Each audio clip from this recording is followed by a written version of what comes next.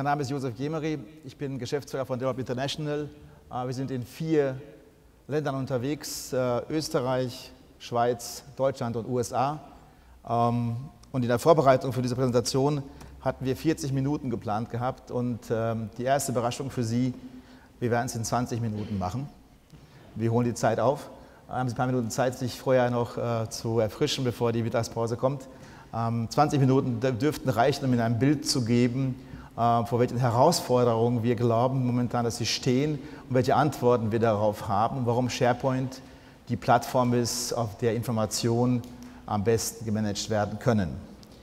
Wir sind heute mit unserem Partner Chronica Minolta hier draußen und äh, wenn Sie das theoretisch gleiche sehen, was wir Ihnen zeigen, können Sie auch praktisch erleben. Wir haben den Gemeindeakt mit Chronica Minolta umgesetzt. Sie können also live an unserem äh, Stand draußen sich selbst ein Bild davon machen, wie Information in der Form gemanagt werden kann und warum das als Plattform mit SharePoint funktioniert. Äh, ich erzähle nichts Neues, denke ich mal, wenn Sie Herausforderungen von diesem Bild sich vielleicht adaptieren. Äh, in der heutigen Geschichte, in der heutigen Gesellschaft wird es immer schneller und ich glaube, dass die Teams besser arbeiten müssen, dass die Teams auch Werkzeuge haben müssen, die heute als Standard gelten und auf verschiedenen Ebenen, auf verschiedenen Plattformen verfügbar sind. Wenn Sie die ganzen Schlagworte hier sehen, äh, sicherlich kennen Sie einige davon, ist absolut die Frage, wie wollen Sie alles das, was Sie an der Wand hier sehen, vereinheitlichen und zu einer Informationsplattform bekommen? Denn das ist alles heute schon da. Mein Vorredner hat vorhin erwähnt, äh, die Daten werden in der Cloud gespeichert, benutzen Sie SharePoint, ähnliche andere Sachen. Das heißt, Sie kommen um diese Schlagworte, die Integration dieser Technologie, kommen Sie in Ihren Unternehmen, in Ihren Bereichen einfach nicht drum herum. Und wir haben uns äh, die Frage gestellt, wie schafft man mit diesen ganzen Themen, die Sie hier sehen, die Schlagwörtern, mehr sind sie ja auch nicht, wie schafft man da wirklich 100% unternehmensweites Dokumentmanagement? Das zeigen wir Ihnen ganz kurz mal und holen Sie kurz ab, was heute eigentlich die Trends äh, sind. Es gibt vier globale Trends, davon zeige ich Ihnen drei, die uns auch in Deutschland, Österreich und Schweiz beschäftigen. Cloud, Mobile und soziales Computing werden es überall wahrscheinlich gehört haben. Ich habe hinten gesessen gerade, da sehe ich also, dass einige Leute logischerweise, während man hier zuhört, auch ihre Informationen checken und prüfen. Man ist permanent online, ähm, man ist permanent auch in der Cloud und man ist äh, sozusagen am Twittern und am Facebook und am Jammern und so weiter. Das heißt, unsere Gesellschaft verändert sich rasant momentan und die Cloud, die in den deutschsprachigen Räumen in Ländern keine so große Rolle spielt, ist in den USA quasi vorhanden. Unsere Gesellschaft in den USA, wenn wir dort mit Kunden reden, dort sind 60 Prozent aller Unternehmensdaten mittlerweile in der Cloud gespeichert, komplett egal, wo die liegen. Ähm, Zahlen aus Deutschland, die wir aktuell kennen und Österreich, gehen in Richtung 5 bis 7 Prozent, wenn überhaupt. Und das ist die Trends und wie schaut es in der Branche aus? Die Bilder kennen Sie bestimmt auch. Es gibt eine Menge Akten, ganz schön viele Archive und unglaublich viele E-Mails.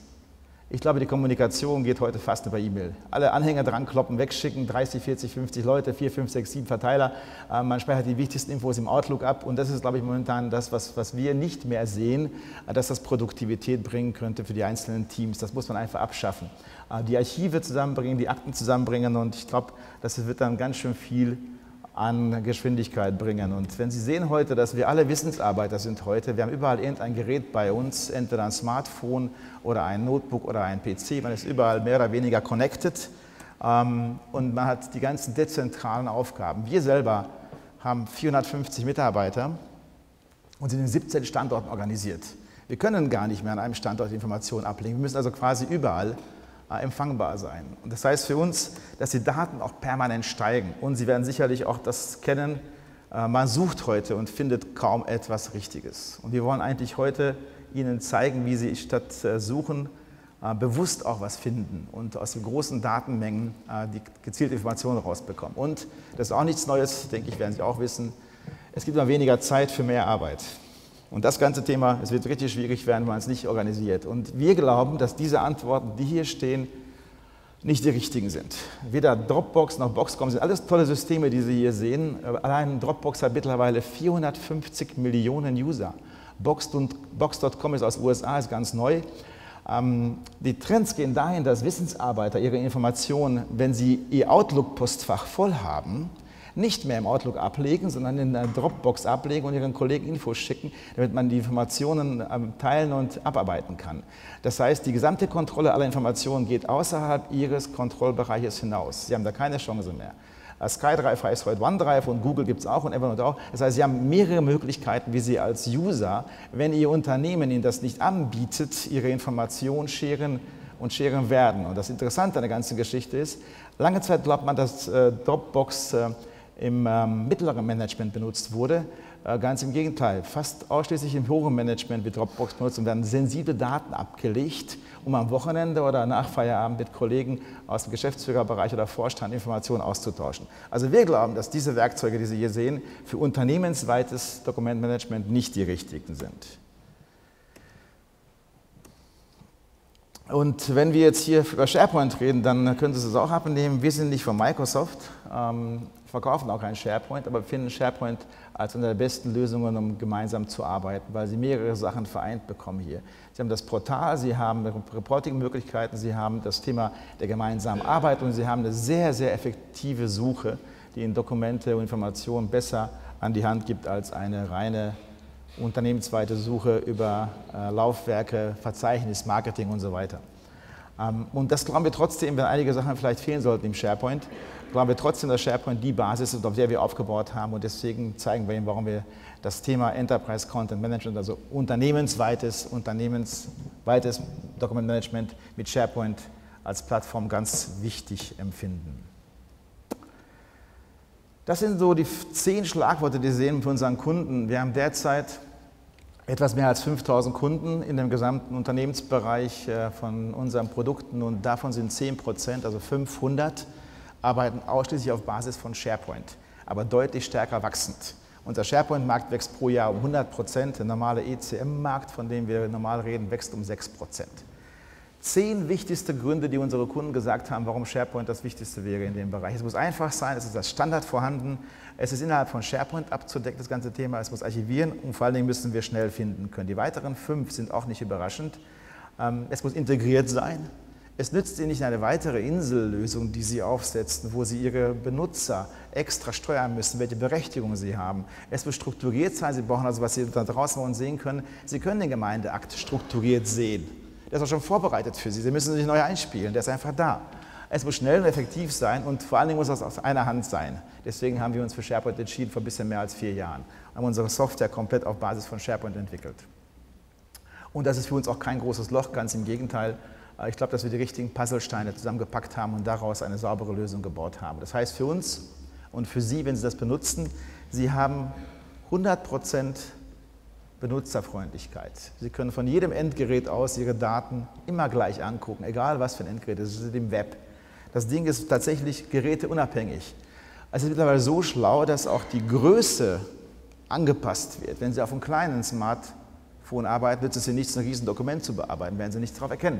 Das heißt, man muss den Benutzer erkennen, worauf er gerade mit dem System arbeitet und den optimale Informationen freigeben. Ich kann hingegen sehr einfach meine ähm, Workflow-Schritte, zum Beispiel Rechnungsfreigabe, kann ich heute von Wien aus erledigen, indem ich sage, ja, Rechnung freigebe, ja, Rechnung nicht freigebe oder prüfen. Das mache ich mit zwei Klicks und dann wird es weitergegeben werden. Ich muss mich nicht irgendwie einloggen. Das Ganze hat eine durchgängige Oberfläche, ist auch extrem wichtig. In den ganzen Produkten, die wir anbieten, wir haben zwölf verschiedene Lösungen. Es macht keinen Sinn, Sie zu überfordern, jede Lösung neu zu lernen. Wenn Sie sich mit dem Produkt einmal, äh, mit dem Produkt einmal gearbeitet haben, dann brauchen Sie eine Stunde bis zwei dafür und Sie werden sehen, dass die anderen Sachen auch relativ einfach verstanden werden. Und wir integrieren Office komplett. Das heißt, Sie haben Office-Integration, auf der rechten Seite haben Sie ein Tool, womit Sie aus Outlook direkt Dokumente ablegen können, ohne das Produkt zu verlassen. Und Sie können aus Word auch genauso ein Dokument suchen und finden, als wenn Sie aus unserem System machen würden. Und wir integrieren auch das ganze Thema soziale Netzwerke, was Sie vorhin gehört haben. Gemma das ist also ein Produkt aus den USA, wurde von Microsoft gekauft. Das nutzen wir intern auch, kommt immer mehr, um soziale Kommunikation in Unternehmen herzustellen. Nicht Facebook, sondern wirklich unternehmensweite Kommunikation, wo der sogenannte Datenstrom der Kommunikation bei uns auch als Gemma-Strom mitgeführt wird. Das heißt, das praktische Beispiel für Sie, weil Gemma ist so, so, ein, so ein hohles Wort in Anführungszeichen. Unsere Mitarbeiter aus dem Service nutzen Gemma heute mehr als ihre Outlook-Postfächer mehr als E-Mails, SMS. Sitzen bei verschiedenen Kunden draußen mit verschiedenen Partnern und unterhalten sich bei bestimmten Themen über Gemma und fragen Kollegen nach und bekommen Rat über Gemma wieder zurück. Das heißt, die ganze Kommunikation wird dann sozusagen mitgestreamt und anschließend von dem nächsten Mitarbeiter darauf untersucht, ob die Informationen auch wertvoll sind für andere Personen. Und dann werden die dann verteilt. Das heißt, der ganze Strom ist nicht mehr einseitig, ich schicke Ihnen eine E-Mail, Sie antworten mir mit Ihrer E-Mail, sondern der ganze Datenstrom ist für die Anzahl der Mitarbeiter, die Sie freigeben, sichtbar. Das heißt, auch andere Leute können das sehen, äh, was die, die technischen Kollegen dort für Lösungsthemen erarbeitet haben. Das heißt, soziale Netzwerke sind wichtig zu integrieren, aber wir finden, sie sollten auch in einem bestimmten Kontext integriert werden. Äh, Sicherheit ist, äh, Sicherheit ist das, das, das Hauptthema bei unseren Kunden. Ähm, und zwar, wenn Sie SharePoint installiert haben, dann gehen Sie davon aus, dass es Nummer 1 Plattform ist. Und Sie werden sicherlich SharePoint im Unternehmen haben. Heute gibt es 140 Millionen User für SharePoint weltweit. Wächst extrem stark. Die Zahlen in Österreich, 50 Prozent der Unternehmen haben SharePoint installiert, nutzen es aber nicht im richtigen Kontext oder nur für Web oder für ähnliche andere Themen. Und wenn Sie sehen, was man da draufpacken könnte, dann wäre das schon eine relativ schnelle Umsetzungsmöglichkeit. Und es ist schlichtweg Standard.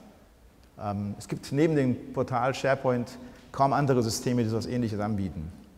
Und es spart Ihnen Zeit, weil die ganzen Workflows, also Prozesse, die wir definiert haben, laufen im einheitlichen Outfit ab und werden dann relativ schnell abgearbeitet werden können. Und Sie werden es, wie Sie vorhin gesehen haben, wenn Sie überall integriert arbeiten können, ist es kein, kein, ähm, keine Insellösung. Ich gebe Ihnen fünf Gründe mit, warum Sie vielleicht das Thema Expand und SharePoint äh, nach der Konferenz ein bisschen tiefer anschauen sollten. Nummer eins, es ist als Basis vorhanden. Das bedeutet für uns, wir nutzen diese ganzen Themen, die Sie hier sehen, wie Dokumente, einscannen, verarbeiten, nutzen wir keinen DMS-Server, sondern benutzen SharePoint. Das heißt, für Sie, Ihre Mitarbeiter, die einmal im System installiert sind, brauchen keine zweite Berechtigungsstufe mehr einzugeben. Also mein Benutzeraccount, Josef Gemery, und meine Rechte, die ich habe, die im SharePoint hinterlegt sind, kann ich auch für die anderen Sachen benutzen. Und damit brauche ich keinen zweiten Mitarbeiter anzulegen. Die ganze Installation, die ganze Infrastruktur läuft also im Standard SharePoint ab. Damit haben Sie die gesamte Architektur äh, Überblick dabei und haben die zentrale Infrastruktur mit dem Speichern der Daten in einem System und müssen ihre Mitarbeiter, die im Bereich der IT beschäftigt sind, nicht ein zweites System dazulernen. Und sie haben, wie ich vorhin sagte, keine Insellösung. Die nahtlose Integration in Office ist extrem wichtig. Sie wollen nicht Ihr System verlassen, um ein Dokument zu finden. Wir haben das auch so weit integriert, dass Sie auch aus Ihren typischen ERP-Systemen, SAP, NAV oder AX, einfach in der Kundenakte stehen und Sie können ein Dokument automatisch aus SAP heraus, ein Dokument in unserem Expand-Bereich angucken, indem Sie einfach Doppelklick drauf machen und Sie gelangen aus SAP heraus oder Dynamics Navision oder aus anderen Systemen, gelangen Sie direkt in die SharePoint-Bibliothek von Expand und sehen das Dokument inklusive der Vertragsakte. Das heißt, Sie haben einen ganz anderen Überblick darüber, wie dieser Kunde strukturiert ist oder wie die Informationen strukturiert sind, als wie Sie momentan in dem Bereich nur mit einem ECM-System hätten.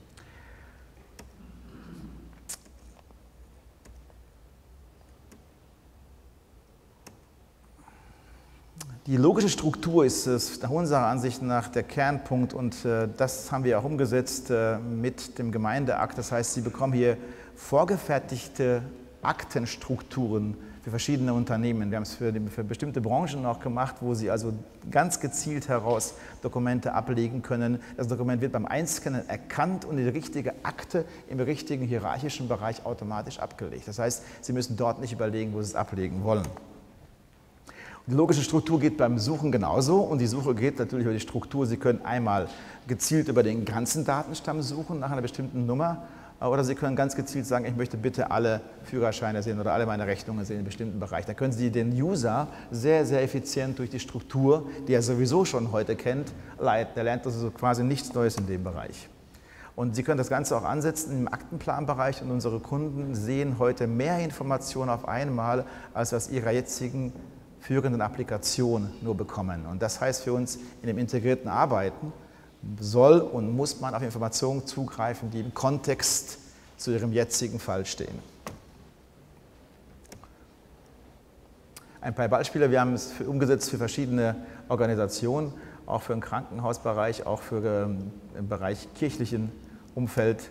Ähm, und ich glaube, das Wichtigste ist für Sie, wenn Sie Dokumente ablegen wollen, dass es relativ einfach geschieht und sich keine Gedanken machen müssen, wie Dokumente reinkommen. Also wir haben vorhin kurz erwähnt, Sie können äh, beliebig von Ihrem Desktop einfach Dokumente fallen lassen. Wir erkennen das automatisch und legen es in der richtigen Struktur ab. Sie können Dokumente natürlich über den Browser ablegen und Sie können auch einfach Dokumente einscannen. Was wir neu gemacht haben, ist ein Webscan, das heißt, Sie können also Ihrem beliebigen Multifunktionsgerät, in dem Fall von Konica Minolta, anschließen und können über Webscan, also über jede Web-Applikation, können Sie ein Dokument jederzeit im richtigen Aktenbereich zuscannen. Und das ist so, dass das Dokument in der Cloud verarbeitet wird, erkannt wird, also extrahiert, aber nur dort verarbeitet wird und zurückgeschoben wird zu Ihrem Arbeitsplatz und dort abgelegt wird. Die Intelligenz dieser Verarbeitung, ähm, der, der, der Klassifizierung haben wir in die Wolke gelegt und Sie können das mit mehreren ähm, Usern gleichzeitig benutzen. Das heißt für uns, dass Sie nicht also eine komplizierte Installation machen müssen am Arbeitsplatz, um Dokumente zu erkennen. Integration ist für uns extrem wichtig, dass sie in ihre führenden Systeme integriert wird und nicht als Connector gesehen. Wir haben keinen Connector gebaut. Wir haben nicht ein Produkt, in dem wir SharePoint anschließen, sondern wir sind wirklich mitten in den Systemen drin. Und wir haben äh, vor zwei Wochen die CeBIT in Hannover gehabt und dort haben wir unsere neuen Systeme gezeigt, äh, wie wir integriert aus den Applikationen rauskommen können. Und das war für unsere Bestandskunden eines der wichtigsten Punkte, dass ihre Mitarbeiter nicht ein System verlassen müssen, egal wo sie herkommen. Das Ganze ist logischerweise im Web und Cloud fähig, das heißt, Sie können das Produkt auch aus dem Web starten und damit arbeiten oder auch ihre Dienste in der Cloud nutzen und die Archivierung auch dort ablegen. Und natürlich revisionssicher archivieren. Wir haben alle Standards, die Sie benötigen, um Dokumente revisionssicher abzulegen und dass Sie das Compliance-Bereich Ihren gesetzlichen Vorschriften nachkommen. Ja, und wenn wir das alles äh, sehen, was die vier Hauptgründe sind, dann werden Sie wahrscheinlich von den ganzen technischen Themen bei unserer Demonstration gar nichts mehr sehen. Aber wir haben die ganzen Demos mittlerweile auf zehn Minuten runtergebrochen und wir verkaufen, wir verkaufen nur noch über Lösungen, ausschließlich. Der Kunde sieht für Technik im Hintergrund überhaupt nichts mehr. Es muss da sein, vorhanden sein, funktionieren, aber der Treiber für diese Themen sind, sind diese Punkte, die Sie sehen. Fast alle unsere Kunden verwalten Verträge digital, also mit unseren Produkten. Also Sie haben auch wahrscheinlich ein Vertragsmanagement, egal in welcher Form auch immer. Und es ist das Einfachste, das umzusetzen, das ist digital verwaltet. Fristen, ähm, Bereiche, verschiedene ähm, Kosten in dem Bereich, die Sie haben. Um ein paar, ein paar Sachen nur zu, senden, zu nennen, können Sie mit dem Produkt relativ einfach umsetzen. Und Sie haben Ihre Verträge digital in der Bearbeitung und verpassen in der Regel keinen, keine Frist mehr. Rechnungseingangsverarbeitung ist ein wichtiges Thema in dem Bereich Dokumente einscannen und verarbeiten. Ähm, Qualitätsmanagement haben wir auch umgesetzt, also verschiedene ISO-Standards, wo Sie also Ihren QM-Bereich relativ einfach mit unseren Produkten umsetzen können. Posteingang, das ist wirklich das Mythos schlechthin in unserer Branche.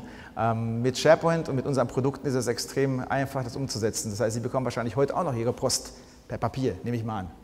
Wer kriegt sie denn digital? Wer kriegt dort eine Post, die er, die er in Unternehmen bekommt oder im Bereich, bekommt die digital von Ihnen? Eins, zwei, drei, vier, fünf. Ähm, so ist auch unsere Einschätzung. Äh, Posteingang äh, ist aber momentan der einfachste Bereich, den Sie umsetzen können. Sie haben ein Postfach, Sie haben also einen äh, SharePoint-Eintrag und Sie haben unser Produkt. Dokumente werden gescannt und automatisch zu Ihnen gesendet. Wenn sie bei Ihnen falsch ankommen, schicken Sie es einfach zurück und die weitere Bearbeitung erfolgt entweder digital, gibt auch Kunden, die machen es dann papiermäßig weiter und bearbeiten den Schritt mit Papier weiter und zum Schluss wird es eingescannt und dann dem Archiv zugeführt. Also Posteingang ist sicherlich die am häufigsten momentan diskutierte und die auch die am meisten kostensparende Lösung. Und Case Management heißt auf Neudeutsch Vorgangsbearbeitung. Ihre Vorgänge, die Sie heute auch haben, setzen wir in einem sogenannten Workflow-Schritt um und Sie haben digital eine Vorgangsbearbeitung, die verschiedene andere Sachen sozusagen mit ansprechen kann und auch Verträge behandeln kann, auch Rechnungen und andere Themen auch. Und im Bereich des, des Gemeindeaktes haben wir die gängigen Vorgänge abgelegt, die dafür notwendig sind, bestimmte Schritte nacheinander abzuarbeiten. Hier sehen Sie zwölf Lösungen von uns in den Mittelpunkt äh, unser Produkt Expand und das ganze Wort auf SharePoint auf. Und unsere Kunden fangen meistens an mit Vertragsmanagement oder mit dem Posteingang und Sie können verschiedene Themen kombinieren, beliebig kombinieren. Diese Spinnengrafik, wie wir sie intern nennen, soll Ihnen nur zeigen, dass die Sachen verknüpft sind, dass Sie auch aus einem E-Mail heraus ein Dokument finden können, der als Vertrag abgelegt worden ist und die Brücke dazwischen ist das Produkt SharePoint mit unserem Erweiterung Expand.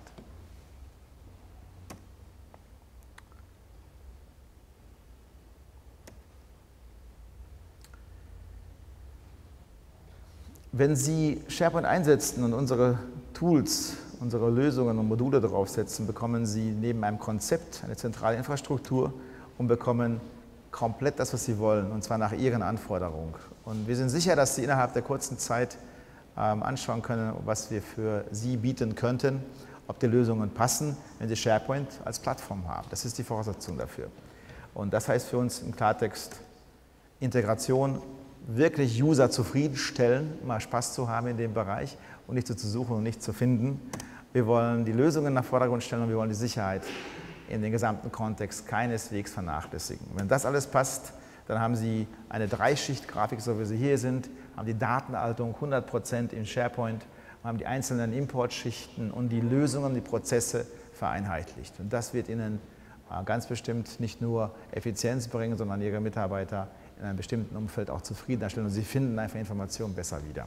Wir haben verschiedene Referenzstories gebaut. Sie können, wenn Sie möchten, mal so ein paar, so ein bisschen Blick dafür kriegen, wie das funktioniert. Wir haben bei der AKH Linz ein Projekt umgesetzt mit 1200 Usern. Wir haben Bergland Milch, ich glaube, die heißt Scherdinger, ganz genau.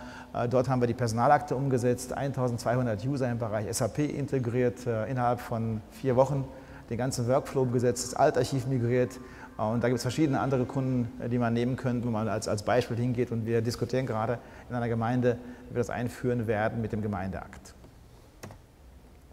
Also ich glaube, es lohnt sich wirklich mal einen Blick unter die Haube zu werfen. Wenn Sie die Zeit finden heute ähm, oder morgen, schauen Sie bei uns vorbei. Meine Kollegen sind da, helfen Ihnen wirklich sehr gerne, diese 10 Minuten Demos auch mal auszutesten. Es braucht nicht länger. In 10 Minuten werden Sie wissen, was, was wir da für Sie machen können und haben dann bestimmt ein besseres Bild davon, warum wir glauben, dass Aktenpläne und Dokumente wirklich zusammengehören und das Ganze eigentlich für Sie eine richtige Verbesserung mit sich bringt und einfaches Hinzufügen von Dokumenten ohne Probleme funktionieren wird. Und ein paar Beispiele zu zeigen, wie man Verknüpfungen herstellen kann hier, das ist aber auf dem Bildschirm wahrscheinlich schwierig zu sehen, ähm, können wir Ihnen draußen live zeigen, wenn Sie möchten. Und die Dokumente, letzten zwei Folien, dann habe ich, denke ich, heute 20 Minuten ganz gut ausgefüllt. Hoffe nicht zu schnell für Sie. Ähm, wenn Sie heute Dokumente ablegen und im SharePoint aus verschiedenen Bereichen, hier sehen Sie einen Scanner, dort oben links sehen Sie Microsoft Dynamics oder AX, dann gibt es dieses Zeichen für Office und Expand. Dokumente landen dann komplett in SharePoint, werden dann verwaltet und egal, was es für ein Dokument ist, wo es herkommt, Sie werden es in einer zentralen Struktur, wenn Sie die Berechtigung dafür haben, werden Sie es finden. Und es ist egal, von wo aus Sie kommen, ob Sie aus dem Outlook kommen oder ob Sie im Web stehen, ob Sie in der Applikation stehen, Sie werden den Zugriff ohne größere Barrieren und Hürden hinbekommen und werden mit Sicherheit mehr Spaß im Job haben. Hoffen wir zumindest. Vielen, vielen Dank für Ihre Aufmerksamkeit. Dankeschön.